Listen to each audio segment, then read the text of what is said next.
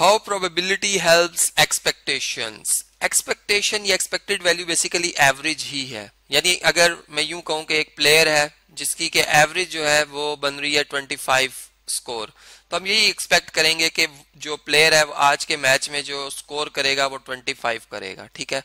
यानी एक जैसा कंसेप्ट आ रहा है. लेकिन इसमें प्रोबेबिलिटी का क्या रोल है? एक एग्ज़ाम्पल से समझते हैं. एक प्लेयर ही की एग्ज़ाम्पल लेते हैं हम. ठीक है? फ़र्ज़ करें, कोई एक्स वाई जी प्लेयर है जिसने एक मैच में टू स्कोर किया है देन यानी फोर कंजेक्टिव मैचेस में उसका टू स्कोर चला आ रहा है, ठीक है? और टू कंजेक्टिव मैचेस में फाइव है, और फिर लास्ट के फोर कंजेक्टिव मैचेस में उसने थ्री थ्री स्कोर किया है, ठीक है? तो इसकी क्या एवरेज बनी? यहाँ पे अगर मैं एवरेज लू, अगर ये एक पॉपुलेशन को रिप्रेजेंट कर रहा है तो ये म्यू जो है, एक जो पैरामीटर है यहाँ पर, वो हमारे पास क्या होगा? इन तमाम का सम और डिवाइडेड बाय जो कुल, कुल तादाद है इसमें पॉपुलेशन साइज़ ये आ जाएगा ठीक है?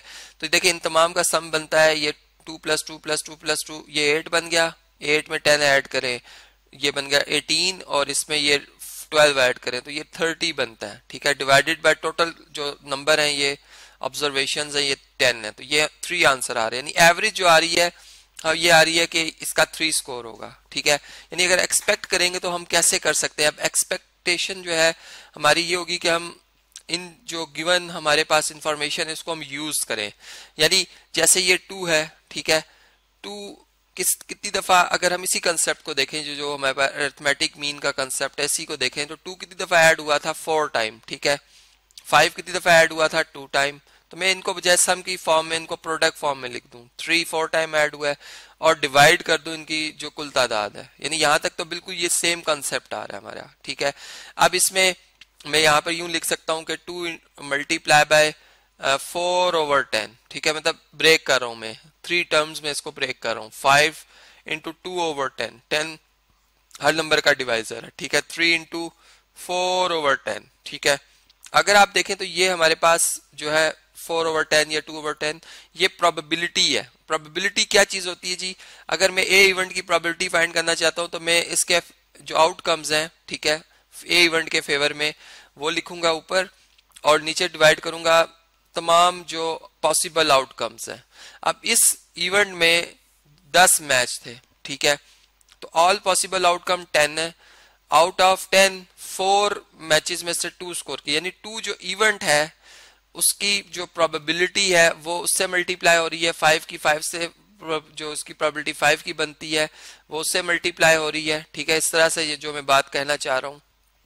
तो देखिए, वही कंसेप्ट आ रहा है कि यहाँ पर प्रोबेबिलिटी जो है, हमारी जो ये सम करने की जो प्रॉपर्टी है, उसको मतलब जो मल्टीप्लाई में हम जो ये टू ओवर टेन लिख रहे हैं, ये बेसिकली प्रोबेबिलिटी ही है। ठीक है, जो कि हमारी जो मुश्किल कैलकुलेशन है, उसको आसान बना रही है। ठीक है और इसकी मदद से अगर हमें टोटल प्रोबेबिलिटी पता है तो हम बड़े आसानी के साथ यानी हर हर इवेंट की अगर प्रोबेबिलिटी पता है तो हम एक्सपेक्टेड वैल्यू जो है या एक्सपेक्टेशन जो होगी हमारी वो बड़ी आसानी से निकाल सकते हैं।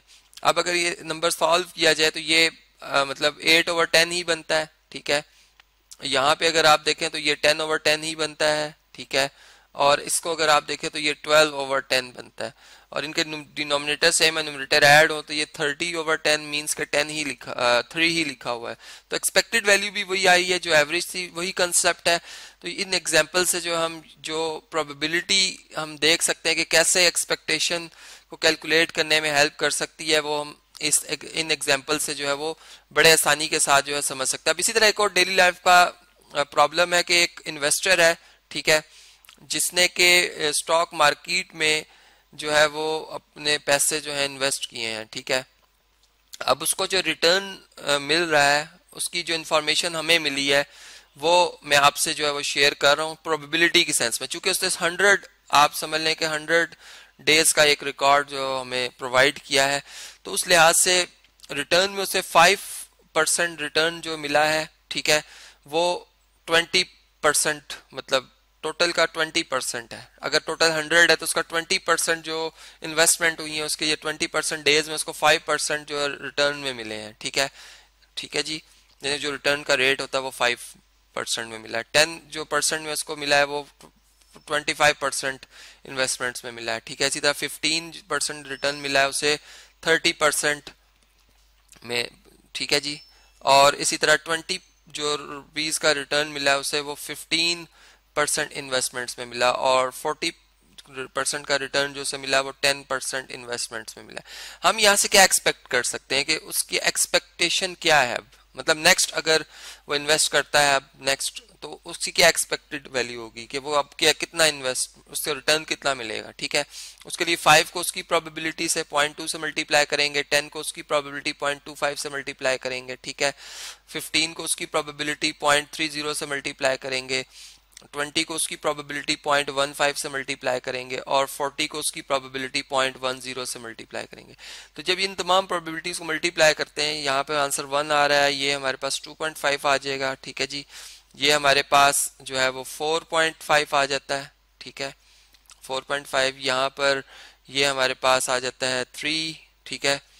और ये हमारे पास आ जाता है फोर तो ये ओवरऑल जो रिटर्न बना परसेंटेज की सेंस में अगर देखें 15 परसेंट का। मतलब मैंने परसेंटेज का सिंबल नहीं लिखा, लेकिन मैं नंबर की सेंस में बता रहा हूँ। तो इस तरह से वो एक्सपेक्ट कर सकता है कि अब जो उसकी नेक्स्ट इन्वेस्टमेंट होगी, उसमें जो उसको रिटर्न मिलेगा, वो कितना होगा, वो 15 परसेंट का हो सकता है। तो इस तरीके से आप डेली लाइफ की एग्जांपल से समझ सकते हैं कि जो प्रोबेबिलिटी जो है, वो एक्सपेक्टेशन को कैलकुलेट करने में किस तरह से हमारी हेल्प करती है।